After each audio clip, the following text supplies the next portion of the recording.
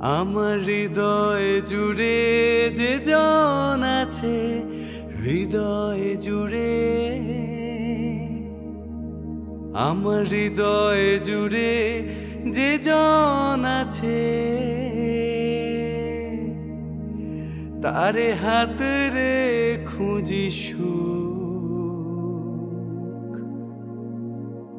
ভব সাগরে দিলাম ডুব কালা ভব সাগরে দিলাম ডুব।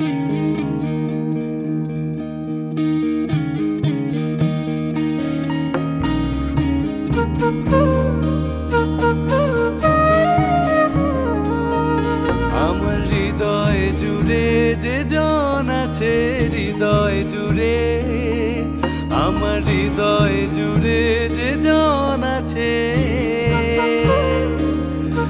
তারে হাত রে খুঁজি ভব সাগরে দিলাম ডুকালা ভব সাগরে দিলাম। ভব সাগরে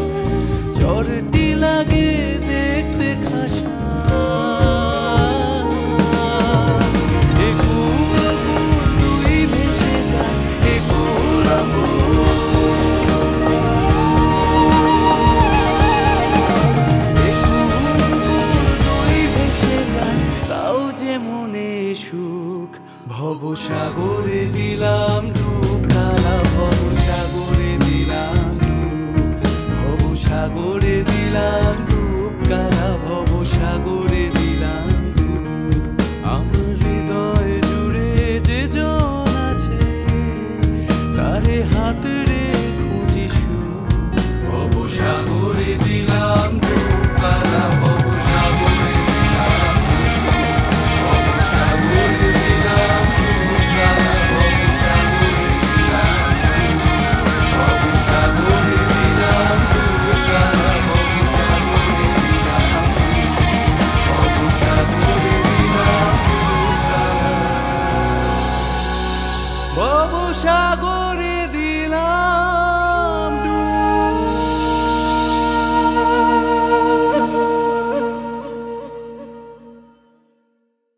Gramophone Record Studio presents অপ্রকাশিত season two co presents by studio outboard soundcheck production and art and science practice studio আজকে আমাদের সাথে আছে মহুল চক্রবর্তী। এই টিমটাকে আমরা একটা নামও দিয়েছি Bengal? Express Bengal express express তো আমরা এইভাবে এখন যেহেতু বেঙ্গল এক্সপ্রেস অতটা পপুলার নয় আমাদের থেকে বেশি। তাই জন্য আমরা বেঙ্গল এক্সপ্রেসটাকে সাইডে নিয়ে এগোচ্ছি। যদি কোনো সময় হয় সুযোগ হয় আমরা বেঙ্গল এক্সপ্রেস বলে আর কি কাজ করব। তো অম্বালিদির এই যে লেখাটা তো সেখানে কীর্তন থেকে এরকম ভাবে কম্পোজিশনটা করলে তুমি একদম মানে অল্টারনেটিভ কীর্তন রক তো এইটার এক্সপিরিয়েন্সটা তুমি একটু বলো। আহ, প্রথম কথা বলি এটা কীর্তন রক কিনা আমরা জানি না কারণ কি আমার তো মনে হচ্ছে মানে- যে অল্টারনেটিভ হ্যাঁ এটা হয়তো একটু প্রোগ্রেসিভ মিউজিক অ্যাড করে মানে চেষ্টা করেছি আমরা। তো রক এটা একদমই বলব না কারণ কি রকের ফিলোসফিটা আলাদা আর কীর্তনের ফিলোসফি দুটোই আলাদা।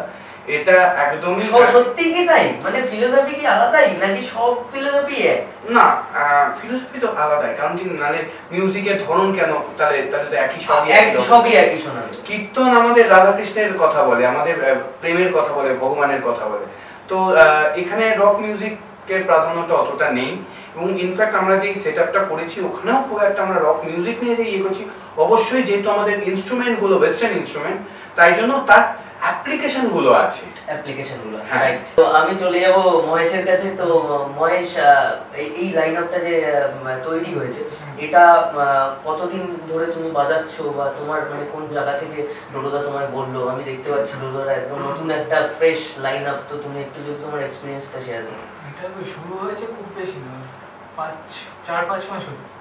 ডোডোদা একদিন ফোন করল তখন আমাকে চিনতো না ফোন করে বলল মানে জিজ্ঞেস করল তারপর বলল একটা সেট আপ করছি বাজবে আমি তখন হ্যাঁ বলল তখন বাজাচ্ছিল না আর কি তারপর থেকে শুরু হলো আর কি এরকম একটা এক্সপেরিমেন্ট রনি আমি শুনছিলাম অফ দ্য ক্যামেরা তো তোমরা দশ বছর ধরে তোমাদের পরিচয় আছে কিন্তু হয়তো মিউজিক্যাল মানে এই লাইন আপটাতেই তোমরা মনে হয় একসাথে কাজ করছ বা মানে তো এই সেইটা মানে আমি এটা জানি বা হোয়াট এভার তোমরা আগেও কাজ করছ সেটা নিয়ে ডোডোদার সাথে কাজ করা নিয়ে তোমার একটু এক্সপিরিয়েন্স যদি শেয়ার করো। অ্যাকচুয়ালি ডোডোর সাথে তো হ্যাঁ টেন ইয়ার্স ব্যাক আমাদের আলাপ হয়েছে।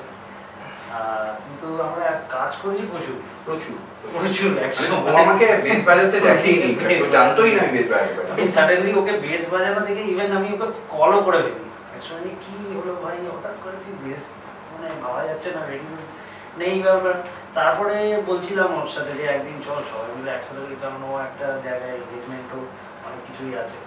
মানে আদার্স অনেক কিছু দেখবে আমিও অনেক জায়গায়, তাও দুজনে একসাথে একটা কিছু করার ইচ্ছে ছিল। তো সেটা এই এত দিনে আজকে একটুখানি করা যাচ্ছে আমি চলে যাব অঙ্কনের কাছে।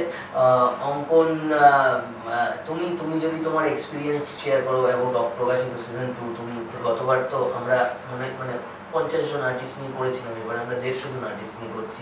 তো অনেকে একসাথে ইনভলভ হতে পারছি অনেকে একসাথে কাজ করতে পারছি। তো তুমি যদি তোমার এক্সপিরিয়েন্স শেয়ার করো আজকের কিছু এক্সপিরিয়েন্স অবভিয়াসলি তো অপ্রকাশিত সম্পর্কে আমি অনেকদিন ধরে শুনেছি ইনফ্যাক্ট আমি ফেসবুকেও তোমাদের আপডেটস বা বাকি সবকিছু আমি ফলো করতে থাকি আমি দেখছি।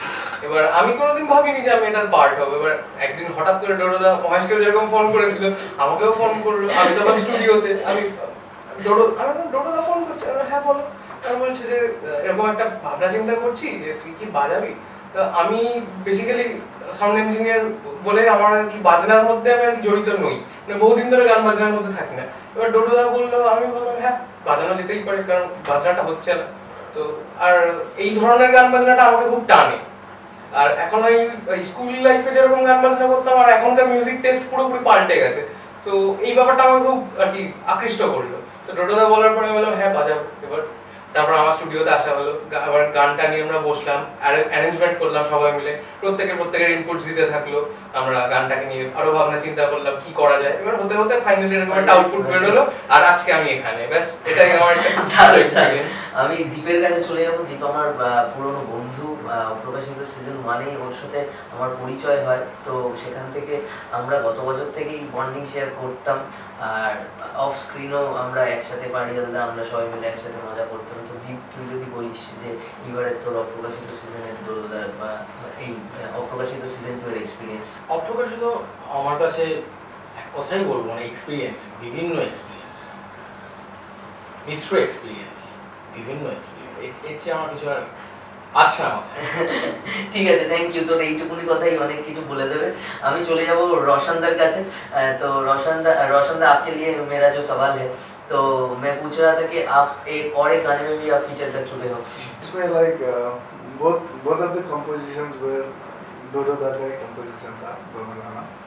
मतलब मैं रिकॉर्डिंग के लिए गया मगर देयर वाज नो लाइट है वी वर लाइक वेटिंग कब लाइट आएगा कब लाइट आएगा? एक घंटा दो घंटा ऐसा करते करते। फिर भी मतलब थोड़ा वी नीडेड मतलब थोड़ा रश में ही किया बिकॉज़ मेरा दूसरा जगह पे भी जाना था। तो लाइक वी करने का कोशिश किया जैसे भी हुआ সাপোর্ট করুন Bengali non film music support করুন বেঙ্গলি ইন্ডিপেন্ডেন্ট মিউজিক সিন আর সাথে থাকুন